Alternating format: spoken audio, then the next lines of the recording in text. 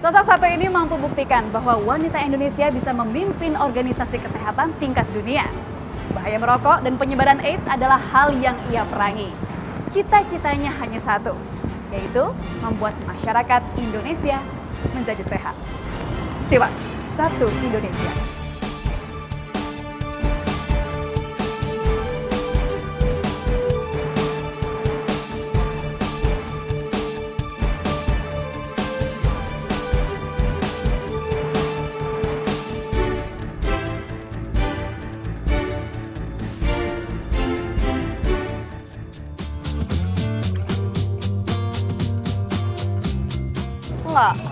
Enggak.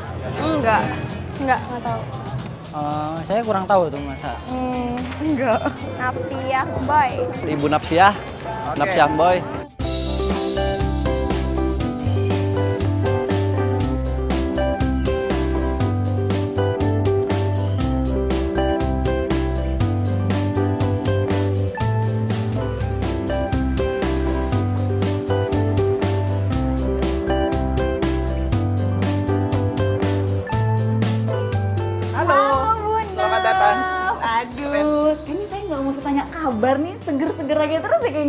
Ya. ya? Iya, mungkin aku nih Bu Naf atau semua yang nonton di rumah nggak akan percaya kalau saya bilang tahun ini Bu Naf usianya sudah mencapai tujuh boleh dibocorin nggak? Boleh, boleh. Tujuh puluh tiga tahun Bu Naf. Ini mungkin saya adalah orang yang ke berapa ribu kali nanya apa rasanya supaya bisa segar terus.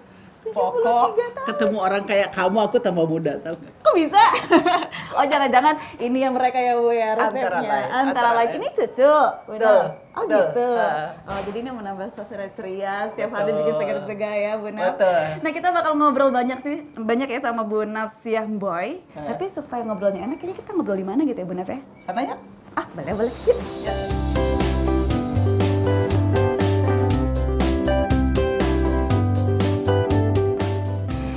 Bu Naf ini menjadi Menteri Kesehatan sebenarnya bikin saya tambah bangga jadi perempuan Indonesia. Soalnya tiga tahun terakhir berarti Menteri Kesehatan kita itu perempuan kan Bu Naf. Nah, kalau menurut Bu Naf, kenapa bisa begitu, Bu? Eh, memang ada banyak di dunia yang Menteri Kesehatan itu perempuan Ya. oleh karena dianggap itu bagian dari suatu eh, kesejahteraan ya, welfare begitu. Tapi tidak wajib. Menteri laki-laki juga baik.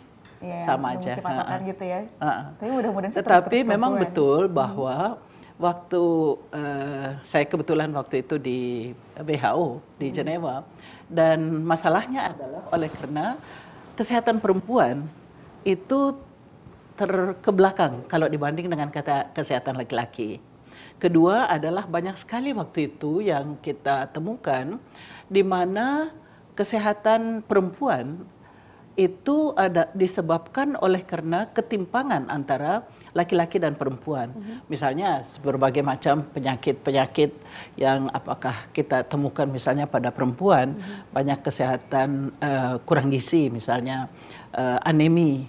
Tetapi juga banyak penyakit-penyakit menular, terutama menular seksual yang pada perempuan sebenarnya dia menjadi korban, Korban, ya. oleh karena masalah gender di mana laki-laki itu dianggap sebagai ya normal lah kalau dia punya banyak cewek gitu ya eh, sering kali melakukan hubungan seks sedangkan perempuan tidak Jadi pejuangnya tetap harus perempuan gitu. ya? Harus kayaknya. Oke, iya iya. Nah, kalau kita melihat nih kayaknya seisi rumahnya Bu Naf ini banyak nuansa-nuansa etnik gitu termasuk eh, baju yang hari ini dikenakan oleh Bu Naf ini motif-motifnya kayak Flores-Flores gitu ya Bu Naf Betul, ya. betul. Nah, tapi Bu Naf ini pernah dijuluki Mother of Ende, Ende Flores. Hmm. Itu ceritanya gimana Bu Naf? Kok bisa dapat julukan itu? saya kok nggak pernah dengar saya juga Ah, ya pernah coba Bu Google itu banyak. Nafsi Hamboy, Mother of Ende, kok bisa? enggak ah, saya nggak pernah dengar baru sekali ini saya dengar perjuangan yang dilakukan Bu Naf ini. Ayo cerita Bu Naf. Eh, saya dokter perempuan pertama yang bertugas di situ.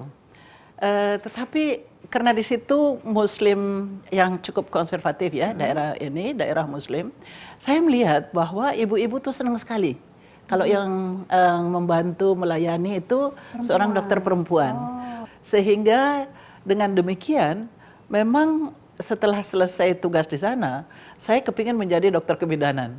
Tapi waktu itu masih diskriminasi, perempuan nggak diterima di bagian kebidanan. Iya. Bisa bisa. sebenarnya pertanyaan besarnya itu ini Bu, kok mau gitu Bu? Kan waktu itu berarti sebelumnya belum pernah ada kan ya Bu ya? Ya, kok Ibu betul. mau sih ditempatkan di situ gitu dan lama pula berapa tahun? Tiga tahun ya Bu ya? Iya, kok mau sih Bu? Karena cinta. Pada Aku jatuh cinta sama suamiku. oh, oh pada suami, jadi Iya. ceritanya ngebela-belain suami. Betul. Jadi suami saya itu asalnya dari Nusa Tenggara Timur. Oke. Kemudian setelah diterjunkan di Irian waktu itu eh, dia kan Kopassus. Jadi diterjunkan di Irian untuk merebut kembali Irian Jaya waktu itu namanya. Eh, setelah itu eh, di ini di RSPAD sebagai dokter bedah, tetapi lalu dia merasa ah, dia dokter pertama dari Nusa Tenggara Timur. Dia merasa kepingin kembali ke daerahnya untuk bayar utang lah pada rakyat di sana. Eh, sehingga dia kembali ya saya ikutlah. Oh, demi cinta Begitu ya. cinta demi cinta. Iya iya iya. Waktu itu ada pengalaman yang paling nggak bisa dilupain nggak sih Bu? Ceritanya waktu lagi praktek Banyak. ketemu pasien yang seperti apa? Banyak. Apa yang paling susah dilupain apa Bu? Eh, pertama ada pada suatu hari saya baru melahirkan, baru melahirkan dua minggu kalau nggak salah tiga minggu. Lalu eh, suami saya dipanggil ke Jakarta. Kemudian saya dipanggil ke rumah sakit. Seorang anak umur 7-8 tahun waktu itu dia nonton bola, terus waktu loncat-loncat dia jatuh gitu, terus tertusuk eh, ini tertusuk apa namanya bambu dan dia itu dibawa naik perahu semalaman. Jadi pagi-pagi sekali jam 5 itu saya dibangunkan oleh karena anak ini baru tiba dan ususnya itu sudah keluar gitu ya. Memang Tuhan itu maha besar. Ya, maha besar. Jadi waktu itu karena ususnya sudah keluar saya hanya cuci dengan eh, apa itu larutan steril, larutan steril kemudian ya masukkan kasih antibiotika dan sebagainya dan berdoa banyak. Tentu pasang drain kalau terjadi eh, ini.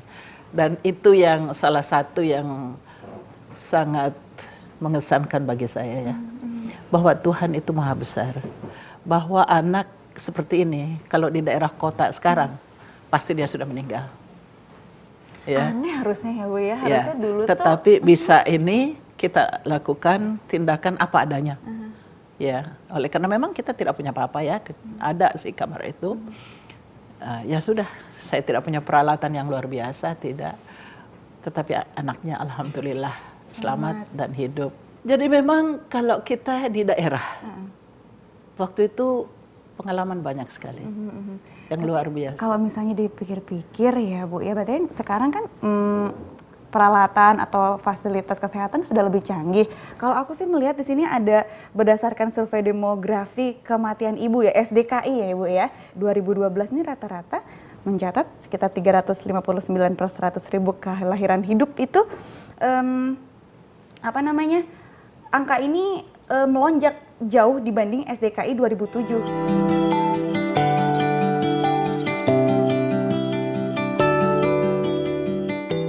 Kesehatan ibu dan anak masih menjadi masalah kesehatan krusial di Indonesia. Angka kematian ibu dan bayi tinggi tiap tahunnya.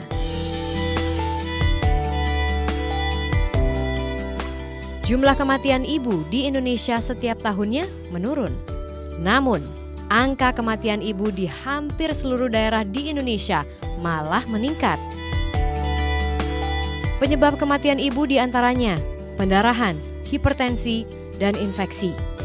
Dan untuk mengatasi masalah ini, pemerintah pusat menyediakan Puskesmas Bonet. Puskesmas dengan fasilitas dan pelayanan obstetri dan neonatal emergensi dasar.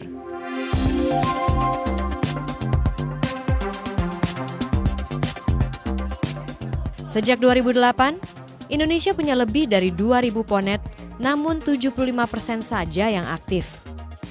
Enam tahun berjalan, Puskesmas Ponet masih menghadapi berbagai problema. Belum tuh kita punya dokter anak. Kita belum punya. Jadi kita nggak punya konsulen anak. Kalau punya uh, konsulen bayi, misalnya ada bayi yang kita rawat, itu agak sedikit bikin dada berdebar-debar ya.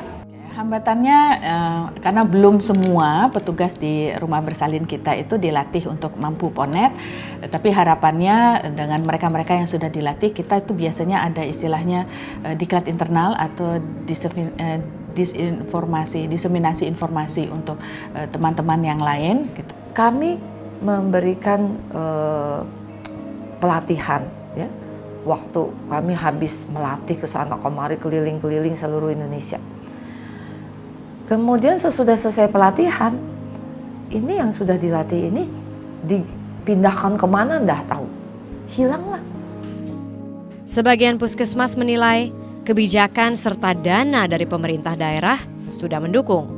Namun dukungan pemerintah ini belum cukup. mungkin sering dikunjungin, sering disupervisi seperti itu supaya kita juga eh, lebih bersemangat gitu. Meskipun pekerjaan rumah terkait puskesmas Ponet menumpuk, pelaku medis masih berharap bisa terus menekan angka kematian ibu dan bayi di Indonesia.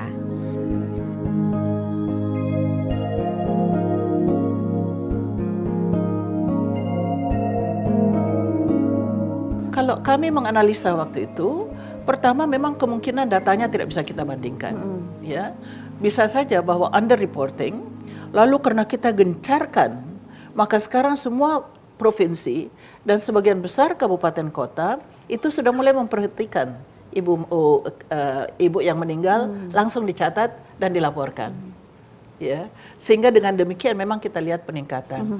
Eh, kedua adalah eh, kami analisa bahwa kemungkinan kita harus jauh lebih ke hilir, eh ke hulu. Ke hulu. Jadi oleh karena yang ratusan miliar ini kan untuk menolong ibu yang sudah hamil, Ya. sudah terlanjur hamil. Sedangkan kita lihat waktu kami lihat data-datanya, sebagian dari ibu-ibu hamil ini yang tidak di, tertolong adalah oleh karena dia sendiri kondisinya nggak benar. Banyak sekali di antara mereka yang sebenarnya usianya terlalu muda untuk hamil. Hmm. Ya. Wah itu dari hulu ke hulu hulu hulunya Ya harus ke hulu, ya. betul. Hmm. Ada yang sudah terlalu tua sebenarnya. Ada kehamilannya yang terlalu berdekatan. Ada yang terlalu sering. Baru-baru ini ada seorang ibu meninggal melahirkan anak ke-16, bayangkan. Iya, betul. ini, Bu, anak ke-16. Hari ke ini masih ada. Nah, Bu aku pengen nanya itu tadi ASI eksklusif. Itu kenapa Ya. di Indonesia masih rendah, Bu? Masih berapa waktu itu aku pernah lihat 38 persen ya kalau aku sempat googling tuh. Ibu juga pernah bilang, kenapa Bu? Iya. Itu sudah meningkat. deh. Kalau sebelumnya, waktu pertama kali saya jadi menteri dan saya melihat datanya, 26 persen. Kenapa ya, Bu? Hanya 26 persen. Ada beberapa hal. Eh, pertama, memang kebanyakan ibu-ibu muda sekarang juga bekerja dan tidak diperhatikan secara khusus bahwa sebenarnya fungsinya untuk bahwa air susu ibu ini yang terbaik untuk bayinya. Kedua adalah susu formula ini gencar sekali. Ya, termasuk susu yang mereka bilang pengganti ASI. Jadi untuk bayi usia enam bulan. Ini benar, tidak ini salah. Nggak ada. Tidak ada yang bisa menggantikan air susu ibu. Bagaimana susu sapi bisa menggantikan susu manusia? Nggak bisa. Oleh karena itulah maka kita sudah bikin Permenkes 33 tahun 2012 bahwa eh, untuk melarang itu saya undang seluruh eh, eh, ini eh, pabrik susu formula dan bilang please tidak boleh lagi Kalau kondisinya ngeliat seperti kondisi sekarang gitu ya Bu ya, Ah. ya mungkin eh, di beberapa kantor ada yang menyediakan ruang pompa. Nah, kayak inilah yang gitu. kita minta supaya eh, diupayakanlah. Diupayakan. Bahkan saya kadang-kadang ekstrim sekali. Bicara dengan suami istri, kalau bisa suami nu- eh, istrimu kerja lebih dekat ke rumah deh. Ya. Tetapi harus ada. Harus ada kesempatan itu. Dan sebenarnya di kantor pun ya saya sekretaris KPA nasional saya bilang itu hanya ruangan kita ada musyola di kantor Masa musyola nggak bisa dipakai untuk ibu-ibu me- me- memeras air susunya? Tidak masuk akal kan? Musyola disiapkan, tapi untuk eh, kesempatan ibu memberikan yang terbaik bagi bayinya nggak diberikan. Saya enggak. Kalau hanya itu saja soal ada ini tempat kita hanya ada musola, musola itu malah lebih eh, eh, besar berkahnya kalau jam-jam tertentu ibu ini bisa memompa di situ, kemudian ditempatkan di ini di lemari es. Hanya itu aja. Rahasianya ya. Iya, Jadi ini kita di kantor. Betul. Kalau kita ke sini, ini rumah. Ya, betul. Ini kantor, ini rumah. ini keren banget.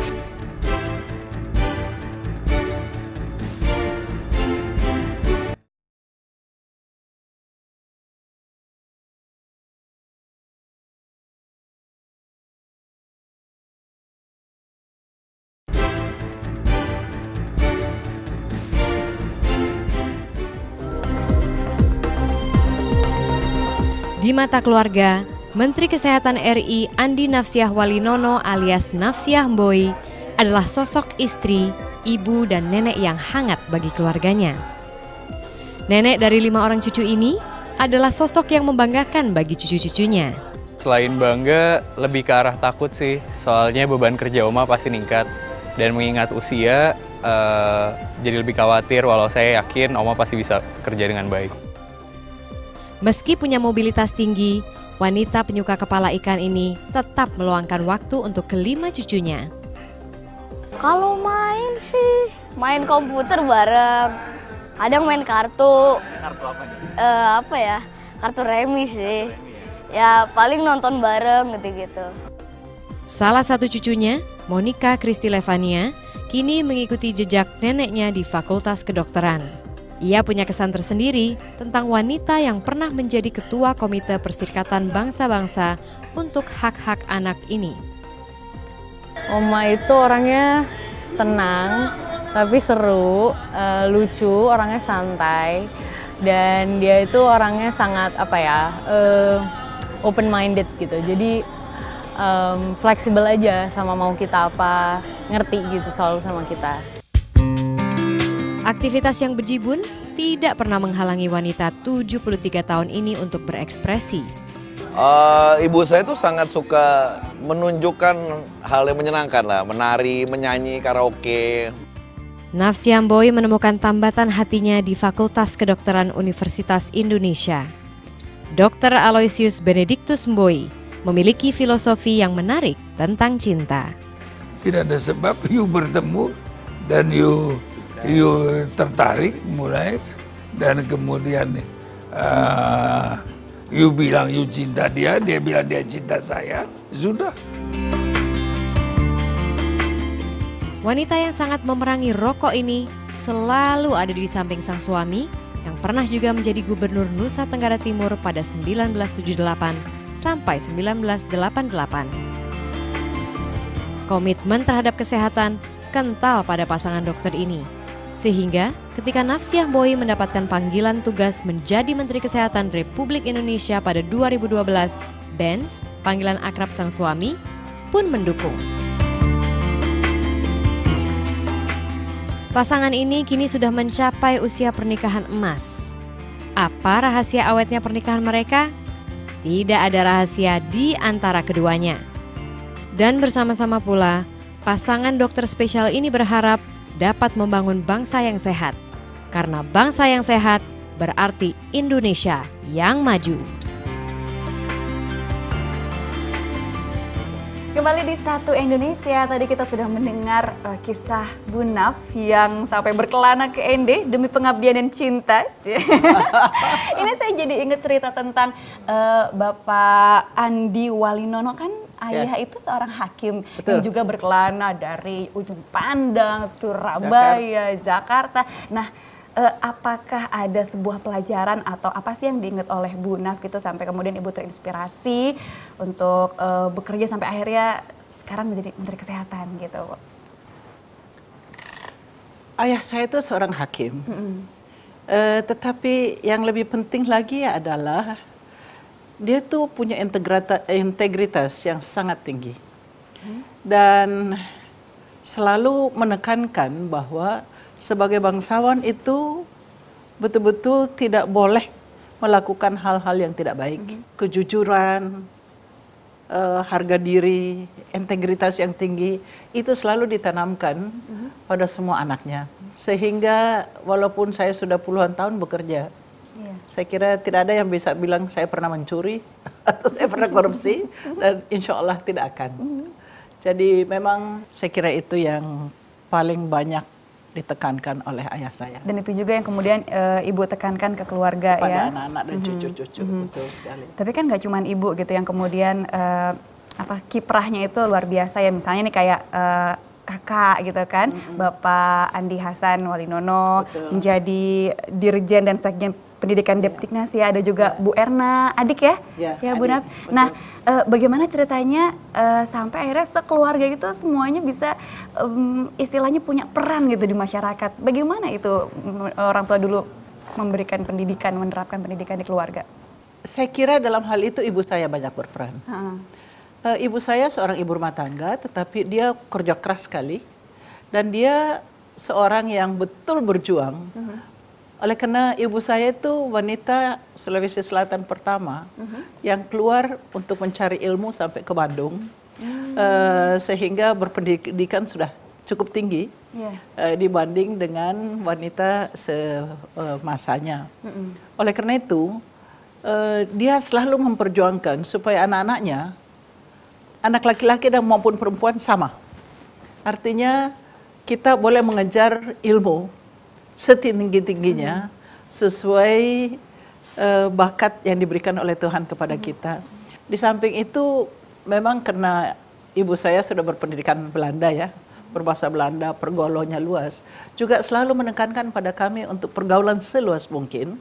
Eh, sehingga dengan demikian eh, ya inilah hasilnya. Bisa dibilang kan ibu lahir dari keluarga yang bangsawan begitu kan, yang ya eh, Ya, lumayan lah, atas gitu. gitu. Tapi ibu tidak ragu-ragu untuk pergi ke Ende, terus juga pergi ke mana-mana dan di tempat-tempat Oh, yang kalau itu pengaruh suami saya. yang itu lagi-lagi itu ya. itu pengaruh suami saya. Suami saya orang yang sangat cinta pada rakyat. Oleh karena memang dia itu eh, datang dari rakyat ya. Dan ya saya beruntung lah Emang ketemu ibu nggak kepikiran ya bu ya untuk kemudian maju lagi itu nggak kepikiran? Enggak. Kita tuh pikirnya ya udah kita jadi sarjana, dapat jabatan tinggi dan sebagainya. Tetapi saya beruntung oleh karena ketemu suami saya dan dia seorang yang memang mempunyai apa ya idealisme yang luar biasa. Oleh karena dia sendiri berasal dari keluarga yang miskin, yang tidak mampu, maka dia kepingin bahwa rakyat NTT itu eh, melihat sesuatu yang lebih baik. Dia dokter pertama orang NTT, sehingga dia kepingin juga bahwa orang NTT yang lain itu bisa belajar, bisa studi, bisa menjadi sarjana. Tetapi lebih ini pada dia adalah bahwa dia kepingin sekali mengeluarkan rakyat NTT dari kemiskinannya. Dan oleh karena suami saya mendapat ya berkah juga ya dari Tuhan bahwa dia tuh seorang komunikator yang sangat baik. Jadi dia bisa berbicara mulai dari pada orang buta huruf sampai kepada pejabat tertinggi. Dan saya belajar banyak sekali dari suami saya. Waktu itu bilangnya apa? Ayo dong eh, ikut yuk sama apa bilangnya dulu Bu Yayang. Enggak juga. Enggak. Kita main berkelahi melulu. Tapi ayo dong ikut ke Ende. Enggak, enggak, Gimana dia enggak pernah. Gimana dia Artinya ngajaknya? gini, eh, saya orang yang ber, eh, berkepribadian sangat keras. Dia juga keras sekali. Jadi kami lulu? pacaran, pacaran enam tahun, ribut melulu. Jadi, tapi anehnya, habis berkelahi, ya kita baikan lagi, nyambung lagi. Udah putus seribu kali, nyambung lagi. Akhirnya saya pikir ya jodoh kali ya. Eh, sehingga, ya saya kira saya beruntung lah. My husband, my hero. Betul. Nah, sekarang kan berarti bisa dibilang em, Bu Naf ini meneruskan perjuangan dari Menteri Kesehatan sebelumnya, Ib- almarhum almarhum Ibu Endang Rahayu Sedianingsih. Nah, eh, kalau kita sekedar mengenang gitu, mengenang beliau, seberapa dekat sih em, Bu Naf dengan almarhumah? Pertama kali eh, dia ingat saya adalah waktu itu saya sudah di NTT, suami Mhm. saya gubernur dan beliau dokter impres di Flores Iya, di iya, iya. Momere. Eh, sehingga kami beda satu generasi. Kemudian ketemu lagi, tapi saya tidak ingat. Kemudian ketemu lagi waktu di Harvard. Saya adalah eh, waktu itu research fellow di Harvard School of Public Health. Lalu dia datang pada saya minta apakah bisa saya kasih rekomendasi supaya dia bisa melanjutkan PhD-nya di ini di Harvard. Dan saya katakan, oh saya kalau membantu perempuan selalu mau. kalau membantu perempuan untuk mencapai ini pendidikan yang lebih Iya. tinggi saya selalu mau. Lalu sehingga beliau bisa dapat PhD-nya di Harvard, Harvard School of Public Health. Setelah itu ya saya tidak terlalu banyak ini, tetapi waktu beliau jadi menteri dan saya sekretaris KPA nasional, beliau adalah wakil ketua. Sehingga mestinya mestinya kalau ada apa-apa eh, saya lapor kepada Ibu Endang dan di situlah kami lebih banyak kerjasama. Walaupun tentu sebagai menteri dia sibuk sekali, bukan hanya HIV, sedangkan saya sebagai sekretaris KPA.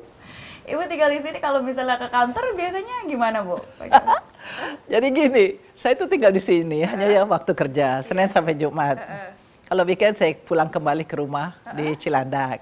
Tapi kalau hari-hari kerja, itu loh pintu itu, kamu lihat nggak pintu itu? Pintu itu Ah, iya. Heeh. Jadi ada seorang menteri yang pinter. Pada saat eh, menteri itu tinggal di sini, kantor di belakang, dia suruh bobol tuh ke tembok. jadi Itu kayak pintu mana saja gitu. Ah, jadi begitu kita keluar dari itu tembok itu sudah kantor saya. Jadi bisa jalan kaki. Kamu kamu jadi menteri kesehatan, kamu bisa jalan kaki. Ini adalah rumah paling enak ya, rumah menteri paling enak. Kalau Benar. kantor tinggal buka pintu, Benar. ada pintu rahasianya. Bu, saya ingin ke sana Bu. Ya. Yuk, yuk kita. Mari. Yuk. Jalan rahasia.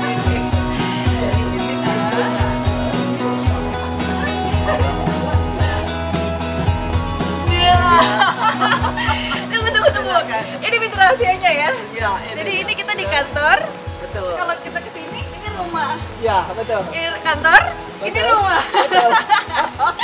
ini keren banget. Kok tidak tertarik pada perempuan tapi tertariknya pada laki-laki? Atau perempuan dia tidak tertarik pada laki-laki, dia tertarik pada perempuan.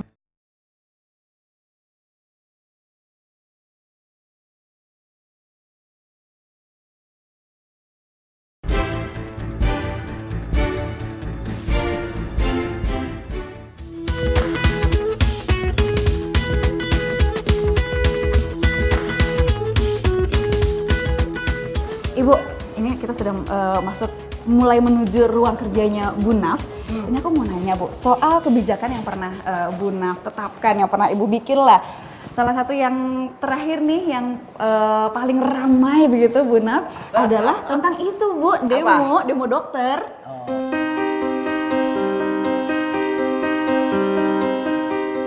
Pertengahan tahun 2012, Nafsiam Boy mengemban tugas sebagai Menteri Kesehatan menggantikan mendiang Endang Rahayu Sedianingsih. Sejak itu, terkadang ia menelurkan keputusan kontroversial. Dokter Indonesia menuntut diberikannya penangguhan eksekusi. Pada November 2013, Nafsiam Boy memberi lampu hijau bagi dokter berdemonstrasi. Namun ia memberi syarat tegas, selama berdemo, pelayanan rumah sakit harus tetap berjalan. Ribuan dokter berunjuk rasa karena keberatan atas hukuman penjara 10 bulan terhadap rekan dokter Dewa Ayu Sasyari Prawani, Henry Simanjuntak atas kasus malapraktik. Kasus ini telah menyebabkan pasien Julia Francisca Makete meninggal dunia pada 10 April 2010 silam. mengekspresikan kegalauan kami itulah pakai istilah anak muda sedikit galau ya dengan cara seperti itu kita ekspresikan tujuannya adalah biar orang tahu nggak pernah kan dokter demo selama ini dan kami yakin benar cukup dengan sedikit sedikit, sedikit objektif orang bisa tahu Ini merupakan unjuk rasa dokter perdana di Indonesia. Yayasan Pemberdayaan Konsumen Kesehatan Indonesia YPKKI mencatat ratusan keluhan pasien ketika unjuk rasa berlangsung. Jadi menurut saya kalau memang betul ikutilah jalur hukum ya. Nah, dengan ada jalur hukum ya kalau tidak puas terakhir kan gerasi masih bisa ya. Dan menyatakan kalau kita ini seorang intelektual ya. Jadi masyarakat itu akan tetap suka dengan dokter Indonesia. Awal Desember 2013, Pekan Kondom menghebohkan dan muncul tuduhan ini sebagai program pemerintah. Pada Pekan Kondom ini, para aktivis anti-AIDS membagikan kondom ke para remaja untuk menekan angka penyebaran virus HIV AIDS di masyarakat. Angka statistik penyandang virus AIDS mayoritas pria dan kelompok usia 25 sampai 49 tahun.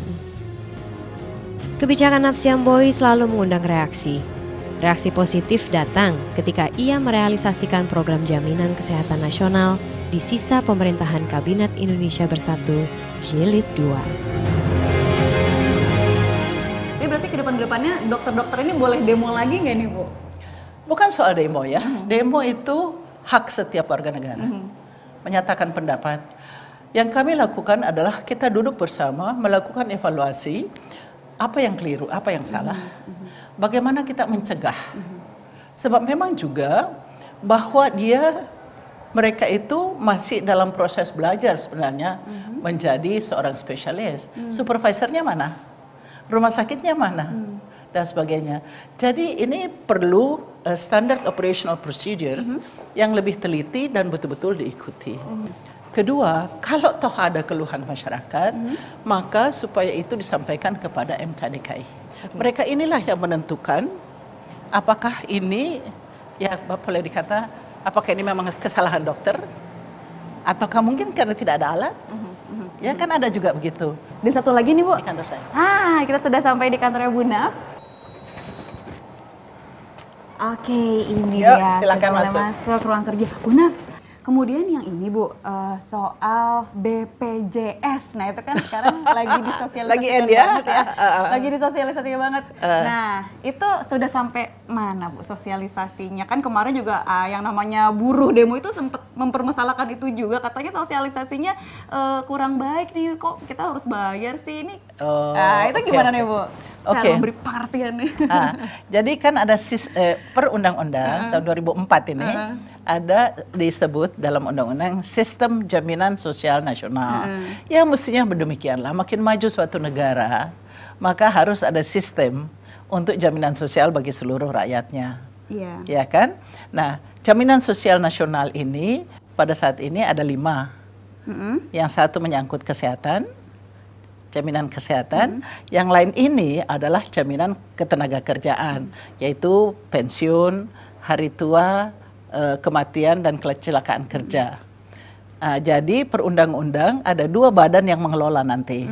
Jadi ini masing-masing asuransi nih. Mm-mm. Ya, asuransi yang satu asuransi kesehatan, asuransi sosial kesehatan yang dikelola oleh BPJS Kesehatan. Sedangkan yang empat ini nanti akan dikelola oleh BPJS Ketenagakerjaan. Mereka baru mulai Juni Juli tahun depan. Oh gitu. Begitu. Yang mulai tanggal 1 Januari 2014 ini adalah BPJS Kesehatan. Kesehatan. Ah, programnya kita sebut Jaminan Kesehatan Nasional. JKN itu ya. JKN, Ya, begitu. ya. Mhm. Dan berarti ini eh, yang diributkan waktu kemarin per- permasalahan buruh itu berarti Yang sosialisasi. oh ini, yang ini, yang BPJS Oh, Ketenagakerjaan. yang itu. Oh, baiklah kalau Ah, begitu. ah. Nah, soal yang ini Bu, soal kita sekarang kan em, ngobrol tentang pendidikan seks Iya. usia dini.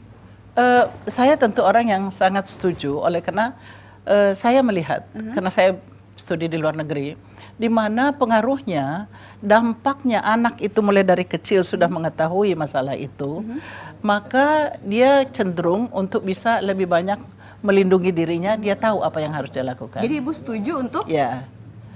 Sekarang tidak bisa tidak disebut pendidikan seks lagi Uh-uh, karena orang terlalu sensitif terhadap katanya Mhm. kata pendidikan seks. Oleh karena itu, yang diberikan adalah bisa disebut kesehatan reproduksi, atau bisa juga disebut life skill education di luar negeri. Nah, kesehatan reproduksi ini, pendidikan kesehatan reproduksi adalah sebenarnya pendidikan kesehatan yang menyangkut alat reproduksi dan fungsi reproduksi dari eh, seorang laki-laki dan perempuan, bukan? Nah, fungsi-fungsinya itu perlu diketahui sejak dini. Oleh karena percaya atau tidak, masih ada mahasiswa yang tidak tahu bagaimana sih terjadinya kehamilan. Oh, kan gitu. ri- ribet kalau gitu. Oleh karena itu, kalau eh, dari penelitian-penelitian di luar negeri, ya sebaiknya itu sudah dilakukan sebelum dia sexually active.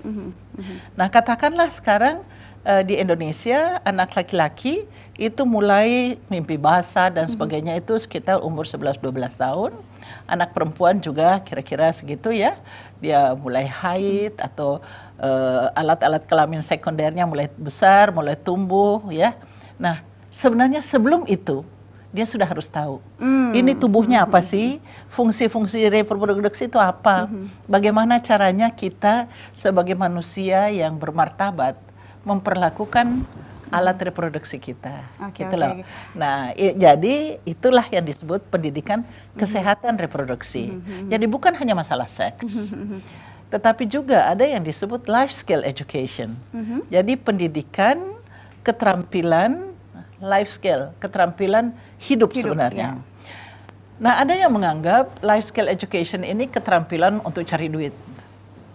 Tetapi kalau di dalam bidang kit kami, kesehatan reproduksi, life skill education ini begini. Remaja, tiba-tiba dia rasa tertarik sama ini. Bagaimana caranya dia mengelola perasaan itu? Oh itu juga harus ada pelajarannya. Ada, ada. Atau eh, ada juga remaja laki-laki kok tidak tertarik pada perempuan tapi tertariknya pada laki-laki. Ah, iya, iya, iya. Atau perempuan dia tidak tertarik pada laki-laki, dia tertarik pada perempuan. Ini semua harus bisa dikelola. Hmm. Dalam suatu ini yang disebut life skill education. Pen, ya itulah pentingnya pendidikan life skill itu. Cara untuk memasyarakatkan itu bagaimana, Bu? Itu ada ilmunya sendiri. Hmm. Eh, kita makanya kalau itu diberikan sejak sebelum remaja, pra remaja, Berarti di sekolah gitu harus diajarinnya gitu. Seharusnya. Oh gitu. Tetapi oleh karena banyak orang yang sangat sensitif soal seks, soal itu langsung se- sensitif. Kayaknya mungkin belum begitu banyak juga tenaga pengajar kita yang dengan eh, bagaimana ya eh, fasih gitu atau paham dan tahu cara menyampaikannya supaya nggak salah arti. Iya sih, Betul, eh, tetapi sudah ada, hanya tidak diperbolehkan. Jadi oleh karena masih banyak kontroversi ini, maka banyak orang yang sangka kalau kita omong tentang seks, nyuruh dia hubungan seks. Ya enggak lah. Eh, saya jadi inget ini Bu, yang kemarin pekan kondom itu, kondom yang eh, apa sih namanya kontroversi soal kenapa sih kondom harus dibagi-bagiin gratis itu tidak kemudian membuat orang bersikap apa ya permisif begitu terhadap Nah, perilaku seks. Itu juga itu juga salah paham. Aha. Pertama itu bukan pemerintah. Oh itu bukan itu pemerintah. swasta, pabrik Berarti pihak kondom. swasta itu memanfaatkan kebijakan pemerintah. Ah, mereka mau mendukung kebijakan pemerintah dengan cara memberikan informasi. Jadi sebenarnya yang dibagi-bagikan itu adalah leaflet, bukan kondom. Leaflet bukan kondom. Leaflet. Kok ada kondomnya Nah, nyelip? yang kondomnya leaflet tentang penggunaan kondom, tentang HIV AIDS dan sebagainya. Kondomnya dibagikan kepada orang-orang yang berperilaku berisiko. Oh, supir truk, supir ojek, tempat-tempat pelacuran.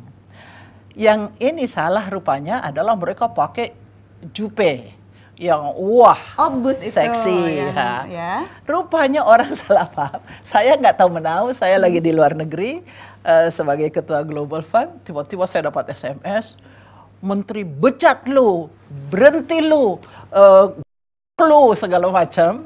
Ya, saya nggak tahu menau apa yang terjadi. Saya cek ternyata eh, soal pekan kondom ini.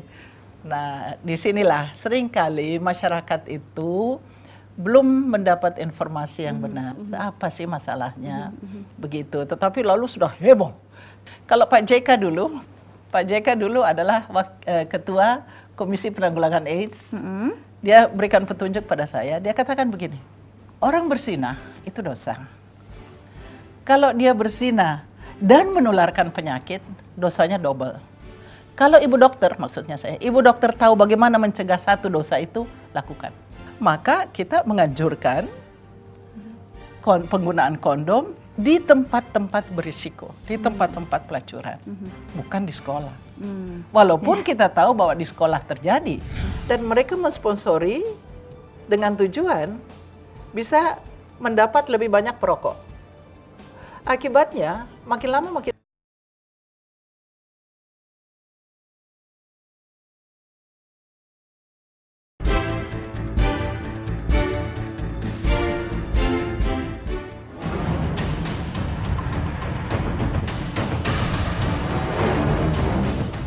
Jumlah perokok di kalangan orang dewasa Indonesia mencapai 61,4 juta jiwa atau 36,1 persen dari total jumlah penduduk. Hingga saat ini, jumlah perokok Indonesia adalah yang terbanyak ketiga di dunia setelah Cina dan India. Lebih dari 97 juta jiwa bukan perokok terpapar asap rokok setiap harinya, baik di rumah maupun di tempat umum. Negara mencatat biaya kesehatan yang harus keluar akibat penyakit turunan merokok mencapai 1,9 triliun rupiah per tahun. Penyakit di antaranya penyakit pernafasan akut, jantung koroner, kanker, dan gangguan pada kandungan atau janin. Gara-gara kebiasaan merokok, terjadi kematian jumlahnya tidak kepalang tanggung. 200 ribu orang setahun. Kematian hampir 200 ribu orang ini telah terjadi setiap tahun sedang terjadi tahun ini, bakal terus terjadi tahun-tahun yang akan datang, kecuali kita mengendalikan konsumsi rokok. Sejak 1999, pemerintah telah menetapkan sejumlah aturan terkait kawasan tanpa rokok dan pengaturan iklan rokok di media elektronik, cetak, hingga media luar ruang. Kebijakan terbaru pengendalian dampak tembakau lahir pada masa kepemimpinan Nafsiam Boy sebagai Menteri Kesehatan. PP nomor 109 tahun 2012 mempertegas pentingnya peringatan kesehatan bergambar pada kemasan rokok. Sekarang dengan PP yang baru, itu peringatan kesehatannya menjadi pertama bergambar, artinya menggunakan gambar selain dengan tulisan, juga letaknya di depan dan di belakang sebesar 40 persen. Harapannya, Kebijakan ini dapat mengurangi minat merokok masyarakat dan menekan jumlah perokok baru. Kami juga sepakat bahwa tembakau perlu diatur, ya, rokok perlu diatur, iya. Tetapi harus ada win-win solution karena suka tidak suka sekarang normanya itu legal yang namanya tembakau dan rokok. Pada tahun 2014 ini, setiap produsen rokok akan mulai diwajibkan untuk memasang peringatan bahaya rokok yang bergambar pada setiap kemasan rokok. Ini merupakan implementasi dari peraturan pemerintah nomor 109 tahun 2012 tentang pengamanan bahan-bahan yang mengandung zat adiktif berupa produk tembakau bagi kesehatan. Kali ini tim Satu Indonesia telah menyiapkan satu buah sampel kemasan rokok yang telah dilengkapi peringatan bahaya rokok yang bergambar. Kemudian kami akan berupaya merekam reaksi dan tanggapan dari para konsumen rokok tatkala mereka untuk pertama kalinya melihat peringatan kesehatan bergambar ini. Eh.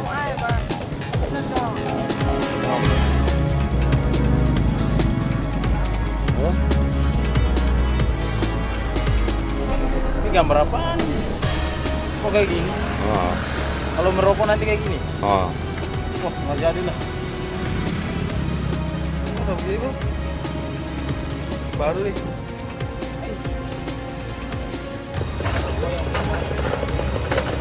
Begini cuma gambarnya bang. Berapa ya? Jadi nanti aja. Nah. Tadi waktu beli tadi, terus lihat gambar yang tadi, gimana itu? Kaget saya. Biasanya kan nggak ada gambar kayak gitu. Tadi begitu lihat gambarnya kaget. Nggak jadi saya beli deh. Nggak jadi beli? Iya. Kenapa nggak jadi beli? Takut juga sih. Takut juga? Iya. Takutnya kayak gitu. Ya kaget juga sih sebenarnya. Kalau lihat gambar kayak gitu, pengen berhenti ngerokok nggak? Kalau untuk sekarang sih enggak ya, karena kita udah biasa mungkin lihat iklan-iklan gitu. Tapi kalau untuk mengurangi dan efek jangka panjang mungkin ada keinginan untuk berhenti. sih. Nggak ngeliat covernya serem ya. Oh, emang covernya gimana? Apa sih kayak orang penyakitan gitu, efek dari ngerokok mungkin. Kayaknya masih mau lanjut ngerokok setelah ngeliat itu? Jujurnya sih sebelumnya aku udah sering lihat itu. Rokok di Malaysia kayak gitu juga kan. Ya udah biasa aja.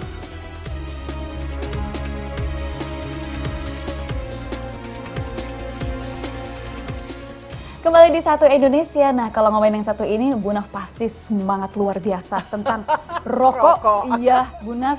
Padahal Ya. kan mungkin banyak juga keluarga Bu Naf yang merokok juga ya. Nah, banyak. Terus kemudian bagaimana Bu Naf? Ayo jangan merokok.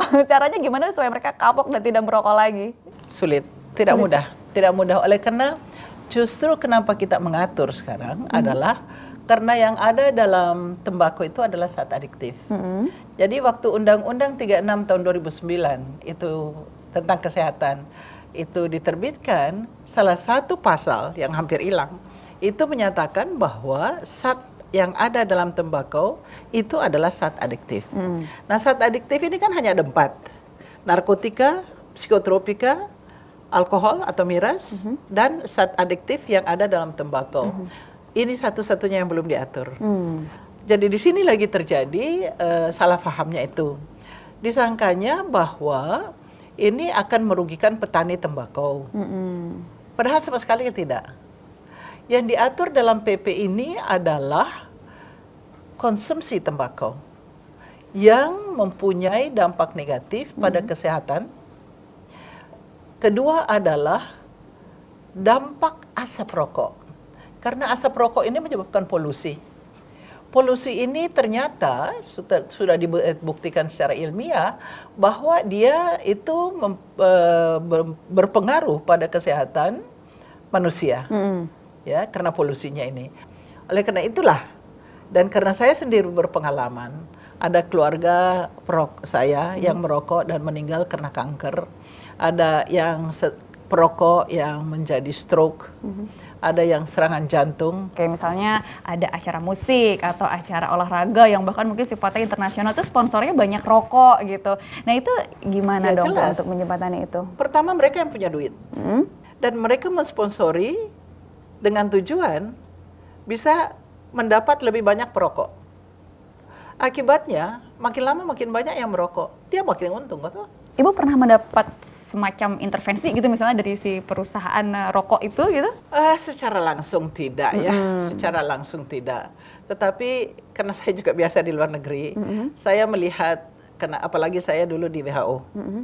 dan saya tahu bahwa eh, pada tahun sekitar 2000 2000 2003 pergantian milenium sebenarnya eh, sudah dari seluruh dunia melapor pada WHO bahwa eh, ini ada epidemi baru di mana yang tadinya dunia yang dunia hadapi adalah penyakit-penyakit menular seperti diare, sakit paru-paru dan sebagainya TBC itu beralih menjadi yang disebut penyakit tidak menular yaitu kanker, stroke, serangan jantung dan sebagainya itu gagal ginjal.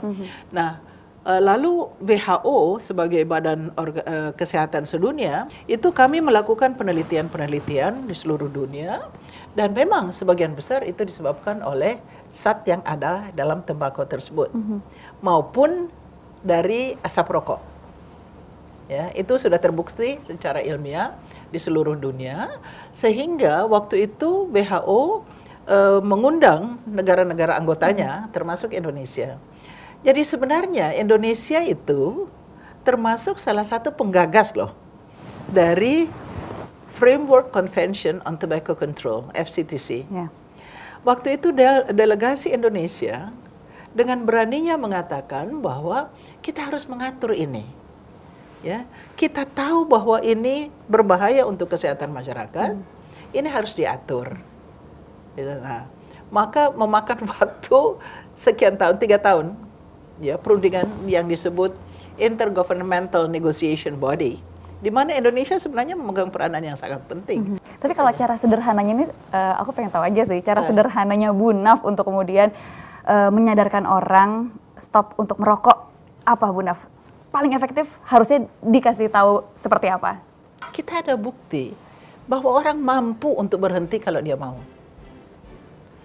Bulan Ramadan kemarin, kita tahu bahwa orang yang berpuasa mempunyai cukup tekad untuk mengatakan sepanjang hari saya tidak makan, tidak minum, tidak merokok dan sebagainya. Bisa ya Bu? ya? Bisa. Mengapa tidak sesudah itu? Nah, ini adalah hal-hal memang ada cara, misalnya ada cara totok, cara apa, dengan counseling.